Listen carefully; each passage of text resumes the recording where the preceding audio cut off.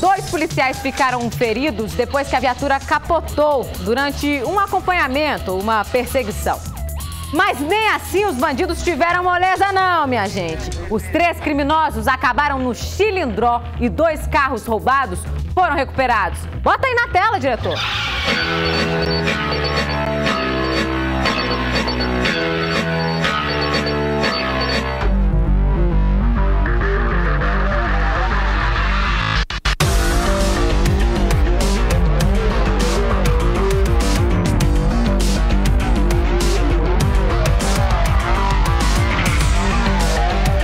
Cláudio Pérez, como é que foi essa ocorrência que infelizmente terminou com a viatura da Rotan capotada?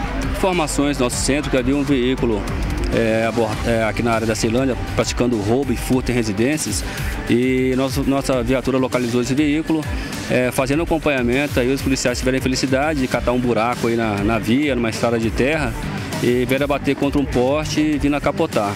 Ainda assim, a, a equipe de policiais é, conseguiu sair da viatura e prender o elemento que já é procurado aí pela, pela polícia, estava realmente aprontando aqui na área da Ceilândia. Os policiais militares tiveram fraturas nos braços. Os dois elementos foram presos, trazidos aqui à delegacia, onde estão sendo autuados pelo crime de roubo. Infelizmente, nós tivemos dois policiais que vieram se machucar é, durante o capotamento da viatura, estão bem, estão é, recebendo tratamento no hospital e, com a, e daqui a pouco estarão, estarão recuperados, né, com a graça de Deus.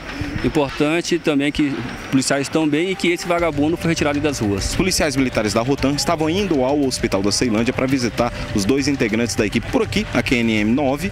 Eles encontraram justamente esse Fiat Palio trafegando por aqui com, em atitude suspeita. O motorista bastante nervoso ao ver os policiais militares, então eles decidiram abordar. Em princípio nada foi encontrado, mas uma averiguação mais profunda descobriram que esse carro foi roubado roubado, inclusive roubado nessa semana, na quinta-feira, o, a vítima, uma senhora que mora em Taguatinga, disse que foi roubada mesmo, estava parada, foi abordado por elemento, meteu a arma e levou o carro embora. E agora ele está sendo recuperado.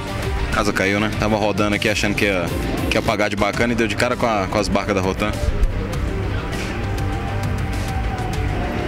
Ele que estava cheio de firula, andando pelas ruas aqui da Ceilândia, achando que estava abafando, achando que fazia sucesso.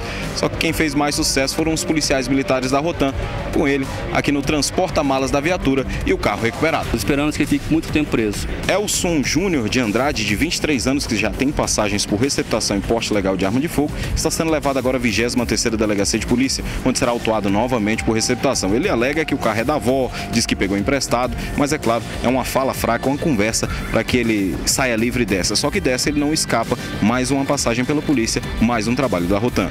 DF Alerta. A verdade na lata.